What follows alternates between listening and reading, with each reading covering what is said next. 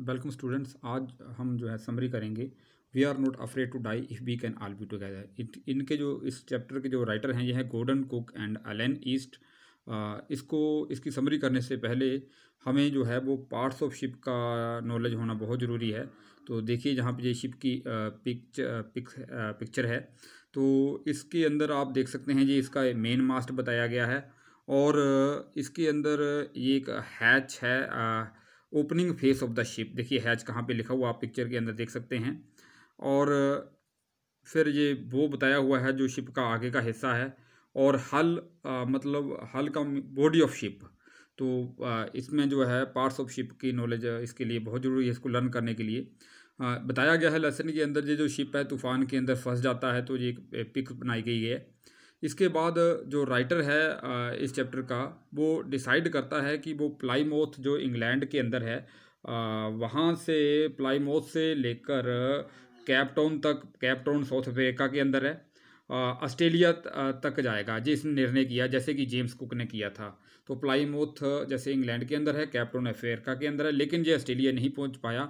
बाद में जो इनका शिप है, इनको एम्स्टरडम में लैंड करना पड़ा तो समरी करने से पहले हमें इसके कीवर्ड, इस लेसन के पता होना चाहिए।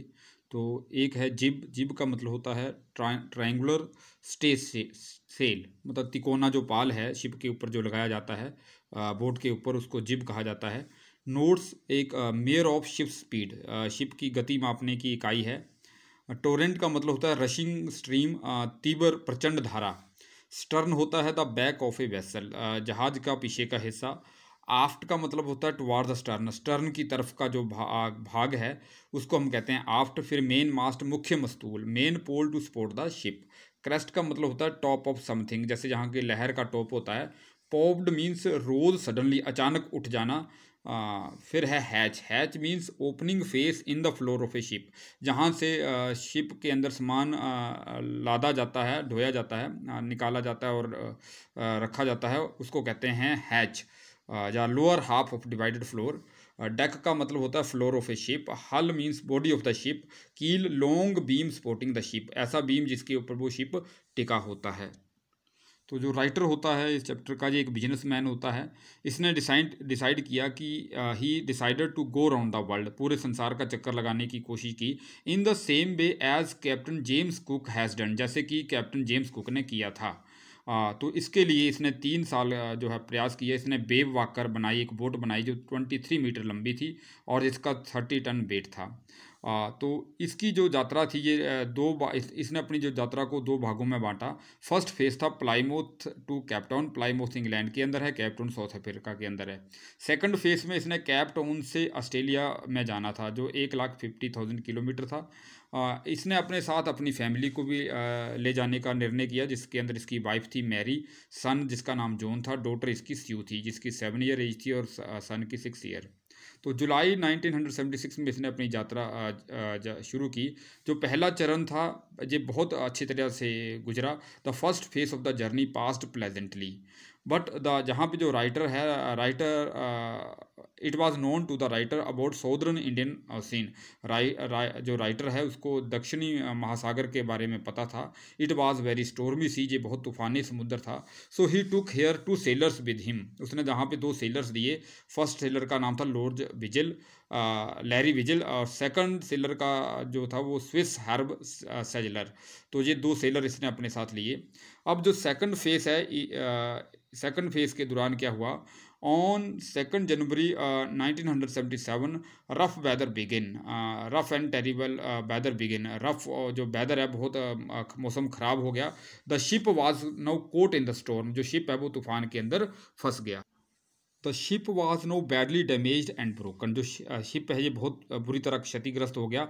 वाटर एंटर्ड इन इट पानी इसमें प्रवेश करा कर गया। तो ऑन फोर्थ जनवरी जो है they were able to took their first day meal चार जनवरी को वो हाँ. But this relief was short lived जे जो राहत थी शॉर्ट लिव्ड थी evening the in the evening black clouds begin to appear शाम के समय जो है, काले बादल छा गए. And by dawn the situation became terrible और प्रभात तक जो उनकी स्थिति है, और भयानक हो गई. Then writer went to comfort the children जो राइटर है, वो बच्चों को सांत्वना देने के लिए गया. But the son of the writer said उसके जो पुत्र, उसने कहा जोन ने क्या कहा? Jon said that father we are not afraid to die if we can all be together पिताजी, हम मरने से नहीं डरते, अगर हम सारे इकट्ठे हों।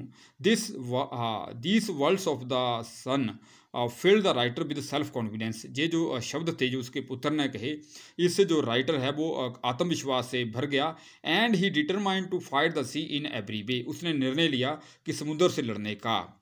And at last they were able और अंत में they were able to support a tiny island Amsterdam अंत के अंदर वो एक छोटा जो है आइलैंड जो है उनको मिल गया जिसका नाम था एमस्टरडम तो इस तरह से इस लेसन के अंदर जो राइटर है, हमें एक मैसेज देना चाहता है कि वन हु इज़ ऑप्टिमिस्टिक जो हमेशा आशावादी होता है has no fear of failures उसको असफल होने का डर नहीं होता है। मतलब we should not lose courage in the face of danger जब भी कोई मुसीबत आती है तो हमें हौसला नहीं खोना चाहिए, हमें उसका डटकर सामना करना चाहिए। तो this was the all about this lesson have a nice day